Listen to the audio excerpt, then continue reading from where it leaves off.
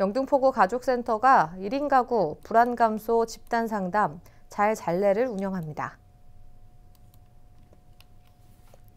4월 7일과 14일, 21일 총 3회간 저녁 7시 30분부터 9시 30분까지 2시간 동안 운영되며 서울에 거주하거나 학교, 직장에 다니는 1인 가구가 대상입니다.